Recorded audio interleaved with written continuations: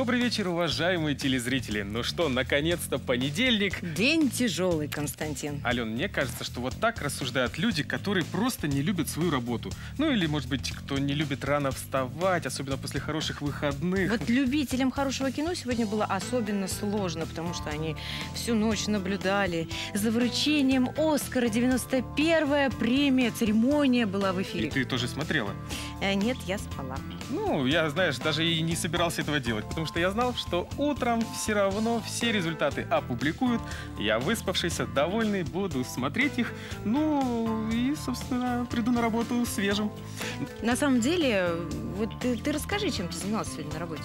Ну, По-честному так, Я признайся. честно скажу, что поскольку мы не попали на премию «Оскар», мы решили не пропустить хотя бы нашу российскую премьеру, которая стартовала в Омске 21 февраля. И поэтому мы сегодня купили билеты в кино и посмотрели хороший фильм. Но это только исключительно из рабочих вопросов, только потому что нужно было по работе.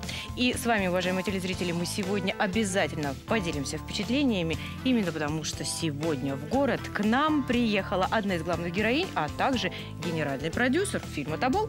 Поэтому так и звучит наша сегодняшняя тема эфира.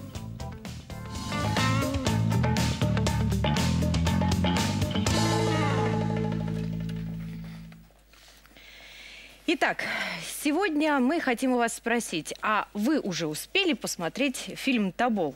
Либо вы его собираетесь посмотреть? Поделитесь с нами, пожалуйста, в прямом эфире программы «Тот еще вечер». И также мы объявляем наше телефонное голосование. Простой вопрос. Я посмотрю «Тобол». Почему? Чтобы сравнить с книгой, потому что э, все про него говорят, и чтобы поддержать российского производителя. Мы сегодня не запускаем интернет-голосование в нашей группе ВКонтакте, просто потому что а, тема у нас на самом деле родилась вот буквально сегодня же утром, и мы бы просто не успели, наверное, собрать ваше мнение, потому что мы сегодня вот буквально только с премьеры пришли на эфир, и гости, которые приехали к нам сегодня, они тоже буквально с С самолета, самолета, да. только что приехали в Омск и сразу попали к нам на программу. Ну, и поэтому мы бы хотели вас, уважаемые гости э, и наши телезрители, э, спросить ваше мнение. Если вы уже успели сходить на премьеру или, может быть, планируете, позвоните к нам по телефону 695-644 и либо поделитесь какими-нибудь интересными своими впечатлениями, ну или задайте вопрос нашим гостям, которые через пару минут окажутся в нашей студии. Ну, вообще, э, фильм сам по себе, он действительно стартовал недавно, но вот э, для мечей ведь он носит какой-то особый смысл. Ну, безусловно, конечно. Все-таки одной из центральных персон в этом фильме является Иван Бухгольц, основатель Омской крепости. И все прекрасно знают о мечи, что у нас есть площадь имени Бугольца, на которой установлен памятник, такой шар, называемый Держава. Как раз-таки на этом месте, ну, по свидетельствам э, историков, летописцев, да, а, есть мнение, что там был заложен в Омскую крепость первый кирпич Иваном Бухгольцем. Ну а сейчас это место облюбовали свадьбы, то есть сюда приезжают фотографироваться, чтобы на память оставалась одна из ну, главных достопримечательностей нашего города. Но интересно, что вот на этом шаре, который вообще еще называют а, пушечным ядром, располагаются барельефы, на которых изображены исторические какие-то эпизоды ос- освоения Сибири.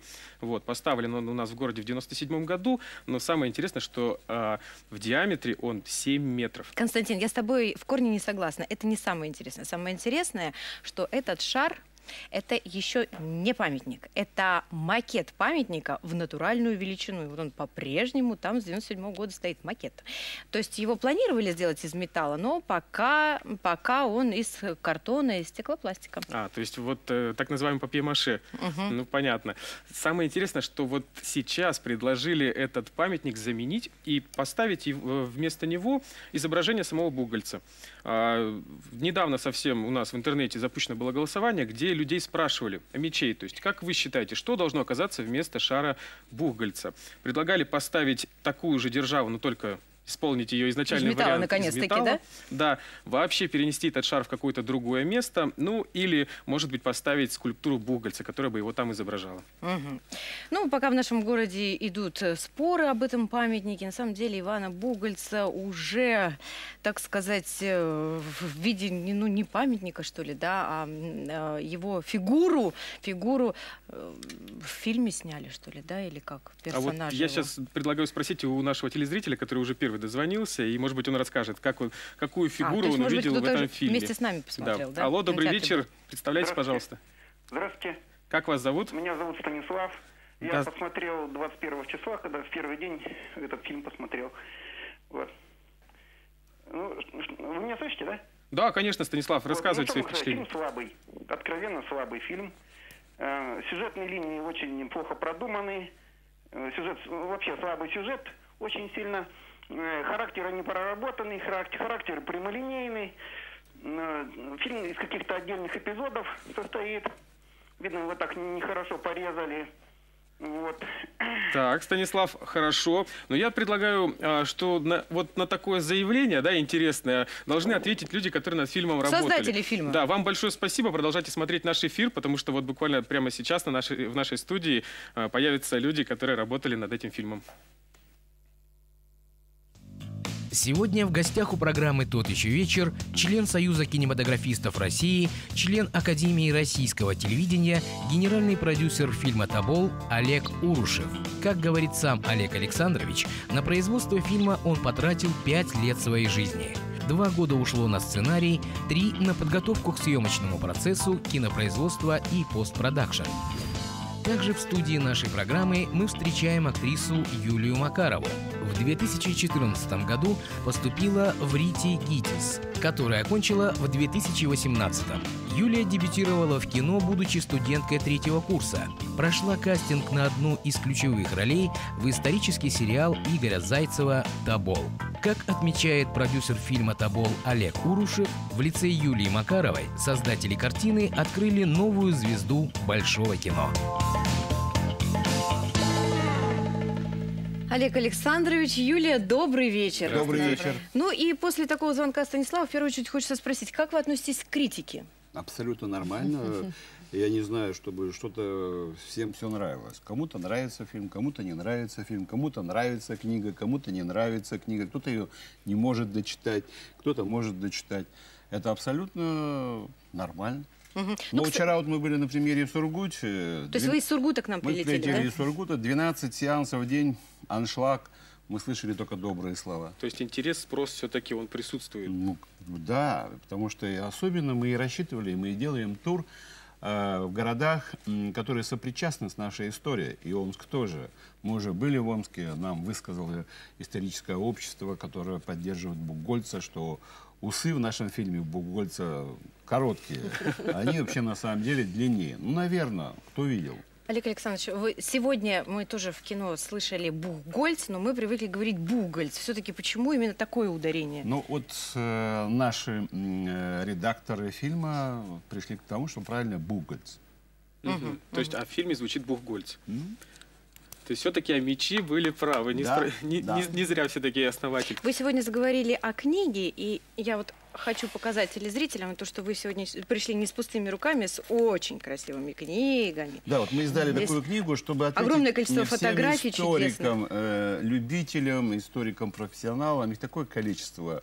Мы взяли за основу э, и опубликовали впервые многие документы из архива России.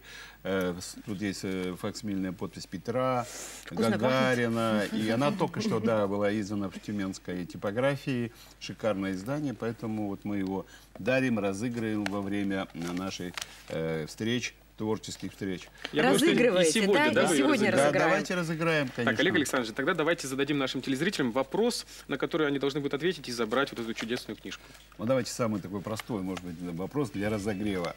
Какой размер обуви был у Петра Первого? Итак, 695-644, телефон прямого эфира. А, какой размер ноги был у Петра Первого? Звоните, называйте цифру и забираете вот такую книжку с красивыми Конечно. иллюстрациями. Кто читать много не любит, вот сразу Юлия скажу. Макарова, которая сидит у нас в студии, тоже. несколько да, мы, у нас как бы есть исторический документ, историческая статья, и актеры, их воспоминания о съемках, и замечательные фотографии То здесь и история, и бэкстейдж, да, своеобразные. то есть? вот мы э, хотели сделать, чтобы наш э, все-таки и фильм, и книга э, нравились прежде всего молодому зрителю, который ходит в кино. Но на удивление, вот на премьере Перми была моя мама, ей 82 года, и мой папа 86 лет. Им тоже понравился фильм. И я думаю, что он тут у нас все-таки мы угадали с аудиторией, он интересен любой аудитории. Вот. Ну, а когда мне говорят о глубине характеров, мне хочется смеяться, поскольку жанром нашего фильма «Истер». о какой глубине характеров можно говорить? Мы изначально создавали, э, будем так говорить, это экшен, красивый, хороший. В нашем фильме уникальные сцены экшена, которые сделаны замечательной каскадерской группой. Я об этом хотела Там, спросить, ну, потому что джунгары у вас как ниндзя, они летают, стреляют из лука. Это режиссер-постановщик трюков Джей Дог из э, группа Нормат из Казахстана. Они работали на «Викинге», они вообще сегодня сильнейшие вот на- у нас здесь, они работают и в Голливуде. Вы увидите абсолютно э, голливудский уровень экшена. Поэтому э, нам за наш фильм абсолютно не стыдно. Но, естественно, за глубиной образов не к нам. Алексей Александрович, у нас есть сейчас звонок. Давайте послушаем ответ, быть может, он правильный. Алло, здравствуйте, говорите, пожалуйста. Меня зовут Ирина Киреева. Очень приятно. Размер ноги у Петра Первого был 37-й. Ха, Это верно? практически. 38-й. Ну, засчитаем. Я думаю, очень близко, сложно Да, было тем более вы уже правильный ответ сказали. Ирина, вам аплодисменты. Вы большая молодец. Забираете вот такую книжку, не кладите телефон, вам расскажут, где и как вы сможете ее забрать. Ну, у нас есть две книжки, быть может, мы еще и вторую разыграем. Нет проблем. Есть у вас на вооружении какой-то вопрос еще? Ну, э, давайте, наверное, тогда все-таки зададим такой вопрос. А кто вот эти карты нарисовал, вот, которые у нас э, лежат на столе? Итак, а, 695-644, розыгрыш у нас продолжается. А назвать нужно имя автора, кто же нарисовал вот эту Этот карту. же а, этот автор этих карт, он первый нанес Омск на карту России. Так, давайте я еще раз ее покажу крупно. Вот эта карта. Ну, это как бы и одна из карт, которые сделал этот человек. Ну что, а я тогда предлагаю сейчас а, посмотреть небольшой трейлер фильма, чтобы дальше уже предметно можно было о нем разговаривать. Есть у меня для вас служба. Мирный поход в пограничные пределы за золотом. Ты кто? Поручик Демарин. Пойдешь на Тобол? Я, Семен Ульянович, прибыл с экспедицией. Золото будут искать. Город Еркент. Где это? На границе. Злая калмыцкая степь. 14 недель идти. Эти русские расстояния держат нас в плен сильнее оков, но я точно буду свободным. Вернусь домой, в Швеции. Батя, я в рекруту записался. Чего? Дурак! Решено все. Чего? Я в поход пойду, батя. Марс Семенович, что вы мне позорите-то, а? Я вас прошу, идите домой. Хочешь на свободу? Когда доберетесь до Джунгар, ты перебежишь к ним и передашь золото, которое я тебе дам. Парламентер едет, братцы! Русские сговорились с Китаем и нанесли удар нам в спину. Ты пришел ко мне с войной! Нам не нужна война. Он предал всех нас. Это знак есть причина войны. Губернатор не мог ослушаться царя. Что теперь делать? Надо остановить войну.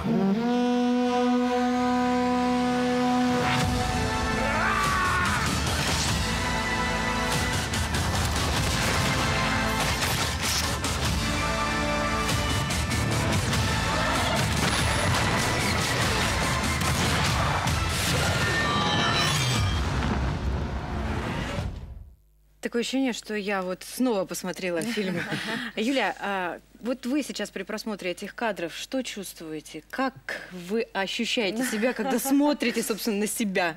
Но, наверное, потому что это моя первая работа, и на тот момент, когда я снималась в Тоболе, я училась на третьем курсе ГИТИСа, э, я очень м, критично на себя смотрю, потому что мне кажется, что вот здесь можно было сделать больше, здесь можно было сделать по-другому, но на тот момент я делала все, что могла, все, что умела.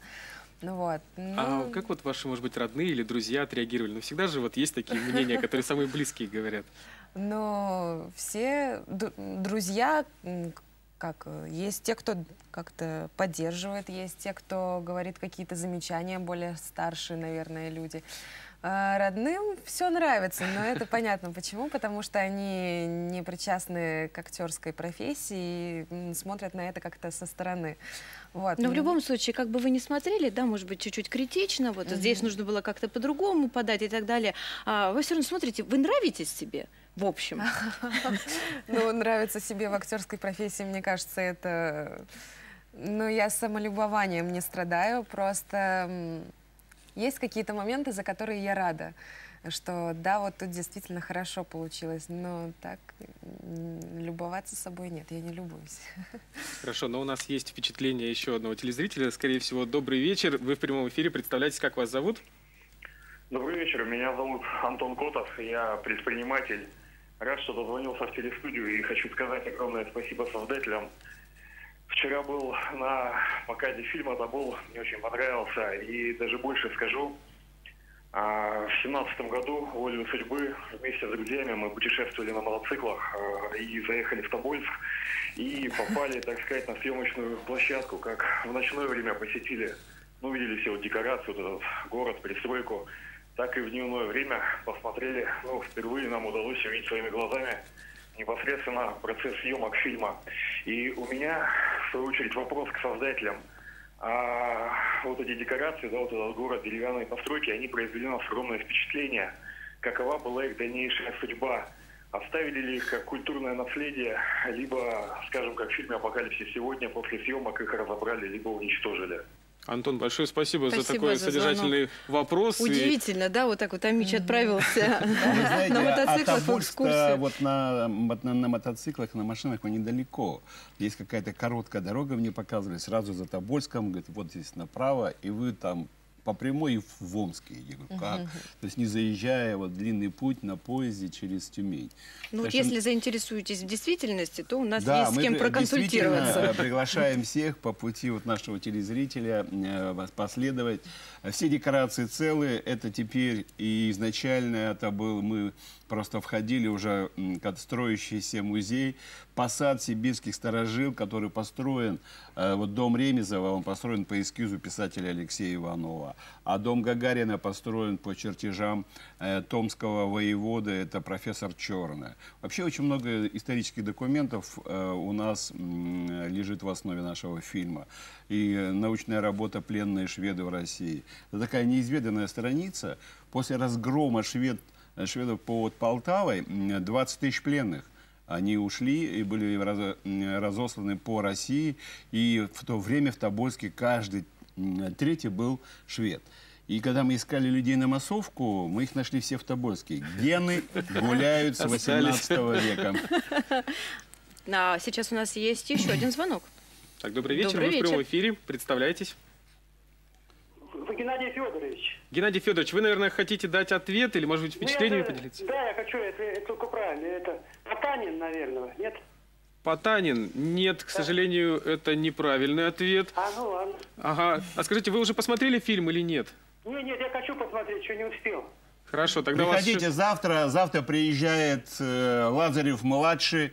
В кинотеатре «Вавилон» будет творческая встреча, который сыграл замечательно э, роль Ивана Бугольца. Мгм, Спасибо вам большое. Вот, кстати, а, хочется знать, а почему вы выбрали именно Лазарева на эту роль? Потому что нам известно, что ну, мы проконсультировались с нашими коллегами, которые с, с историей- Лазаревой как раз-таки, Да, да, буквально на. «ты», что все-таки изображение, ну, настоящее изображение, да, Бухгольца не существует. То есть как вот вы подбирали актера на эту роль? Ну вот мы взяли э, официальный рисунок, который существует в вашем музее, и мы изучили все документы, э, и вся дискуссия по Бугольцу, мы ее все знаем в Омске. Одна часть историков считает, что Бугольц виноват э, в этом, в поражении и в разгроме отряда. Другие считают, что не он.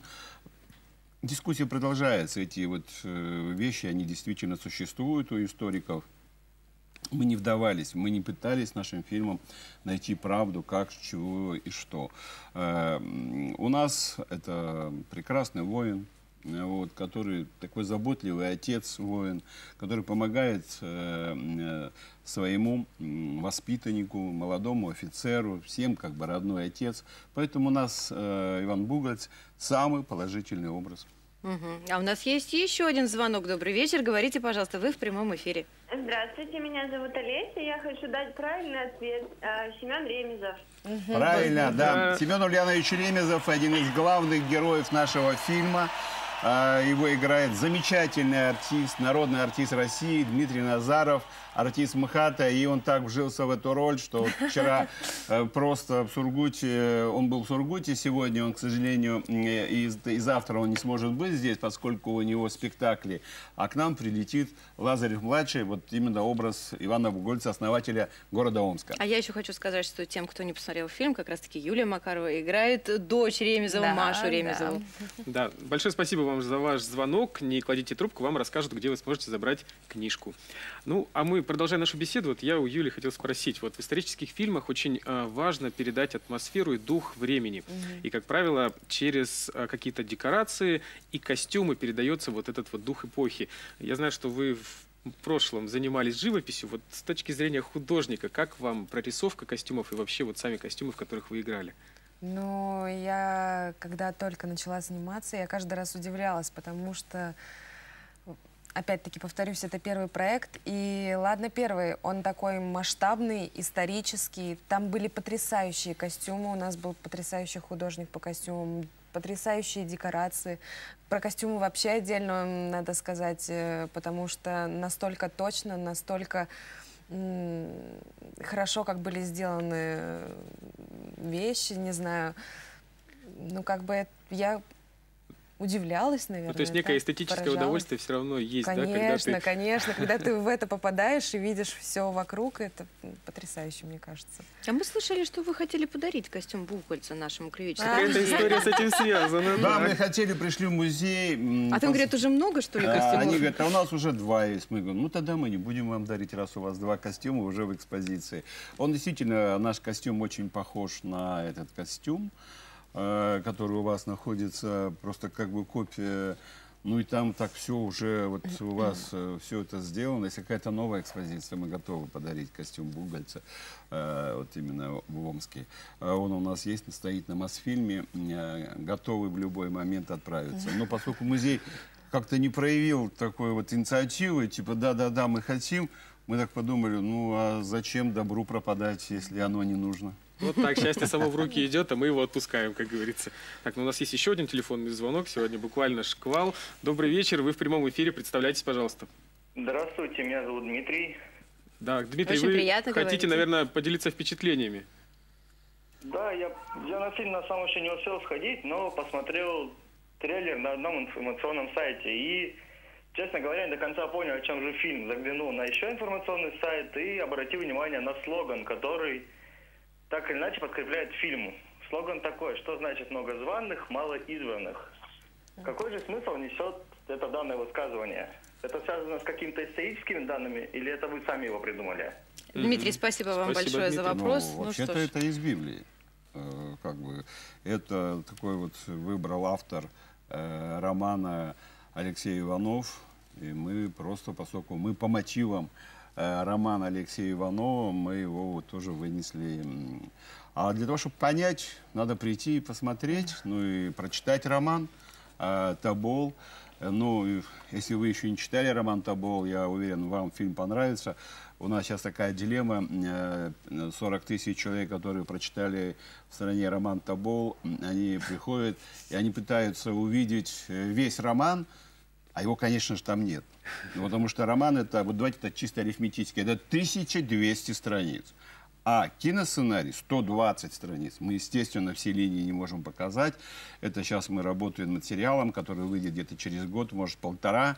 Э, Там будут э, гораздо больше линий, которые существуют. А сейчас мы взяли одну главную линию, главных героев.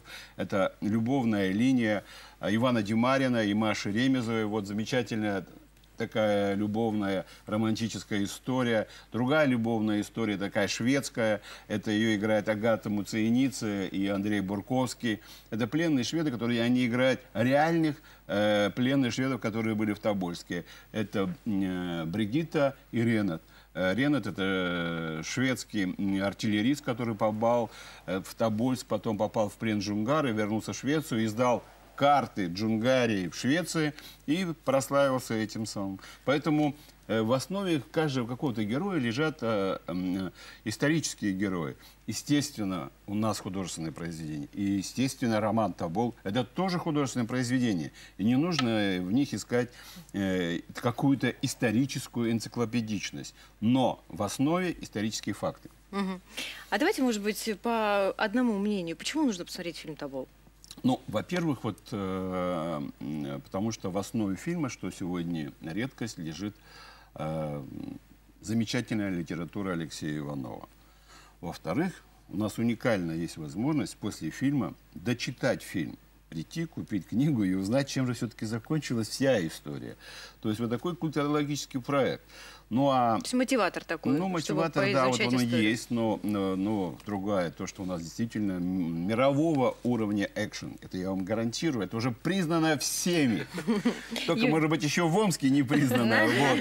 М, Молодой человек, э, видимо, не увидел э, тех масштабных сцен экшена, которые были сделаны. Это уникальная дуэльная пушка главных героев.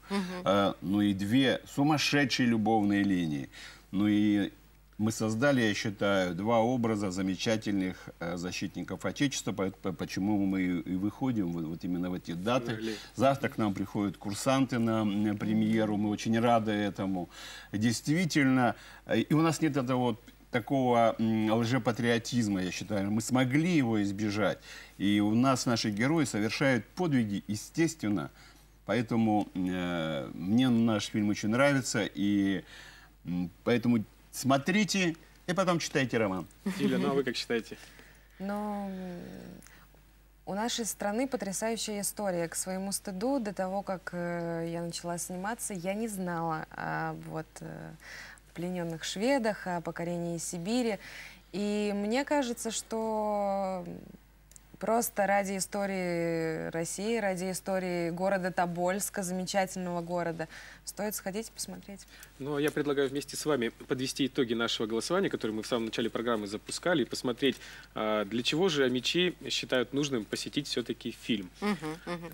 Итак, большее количество людей считает, что нужно поддержать российского производителя. Это 54%. Да, ну им буквально в спину. Мы благодарны вам. Действительно, сегодня российское кино на подъеме.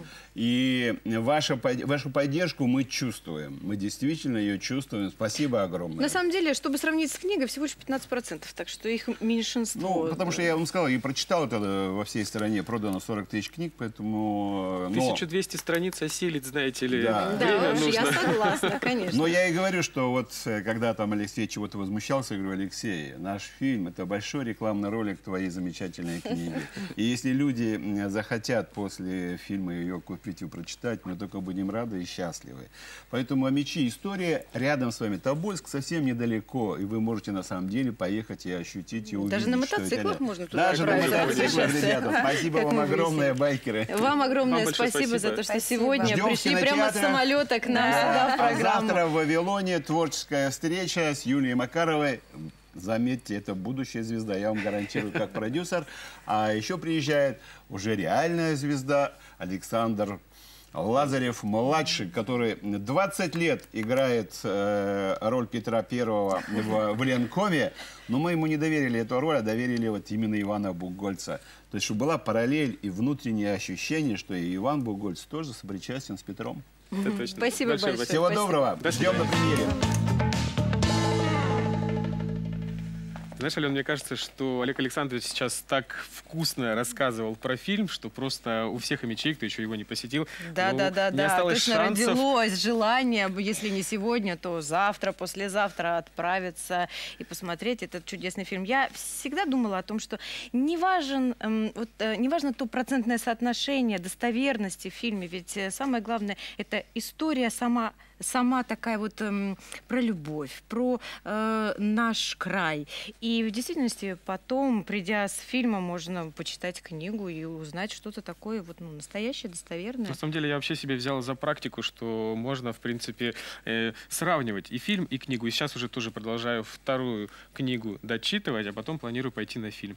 Ну, на этом наш эфир подошел к концу. Мы считаем, что для нас он был точно полезным, и надеемся, что для вас тоже. Поэтому э, мы приглашаем завтра в эту же студию в 19.00 мы будем разговаривать о еще более важных вещах, о которых сегодня мы еще не поговорили. Спасибо, что были с нами. Хорошего вам вечера и до завтра. Пока-пока.